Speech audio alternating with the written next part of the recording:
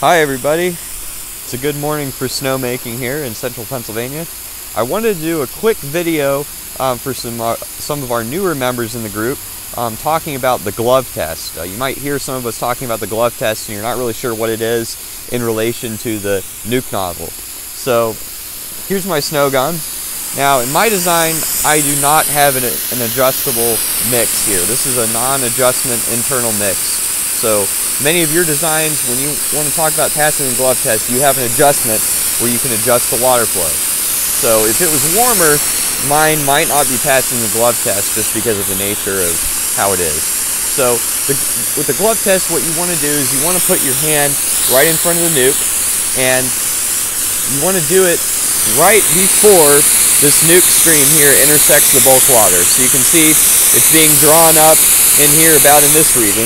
If I put my hand very close to the nozzle right here, it's pretty wet. It's not going to pass the glove test that close to the nozzle. So I want to put it um, about six, at least six inches, if not more. If you have more spacing, you're going to put it right where it intersects the bulk water. So I'm going to put my glove right here in the stream.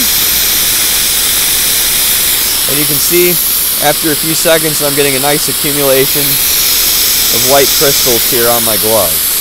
And that's really what you want to see. That lets you know that your nuke is dialed in and you're feeding ice crystals into that flume and that's effectively seeding the formation of larger ice crystals from your bulk water. That's really what you want to see as far as passing the glove test. Now, if you can't, if you're not passing the glove test, there could be a couple of reasons. The main reason you're not passing the glove test is it's too warm, and you might not be able to do anything about that. The other thing you can do is if you're not passing the glove test, if you have an adjustment uh, via a needle valve or a ball valve, you can really throttle that water back.